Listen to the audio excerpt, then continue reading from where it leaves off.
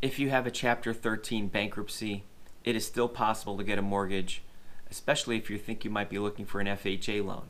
Right now, that's the program that will allow you the shortest waiting period after a Chapter 13 bankruptcy. So right now I'm going to read to you what the waiting period, the traditional waiting period is for Chapter 13 bankruptcy for each mortgage type. So for a conventional loan, you'll need to wait two years after your discharge. FHA, one year.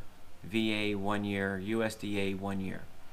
However, uh, there are some lenders that will also allow you to refinance or to purchase a home after a Chapter 13 bankruptcy, but before it's even discharged.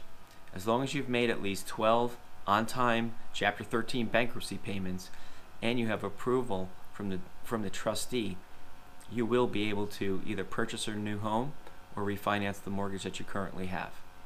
So, if that's the situation that you're in and you'd like to speak to someone about getting a new mortgage with a recent Chapter 13 before the traditional waiting period, then just follow the link in the description down below or in the first pinned comment, and we'll be able to show you where to get that done and how to contact us, at least to get a quote and see whether you qualify.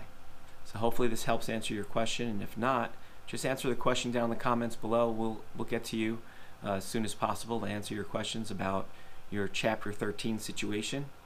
Thanks for watching, and we'll see you next time.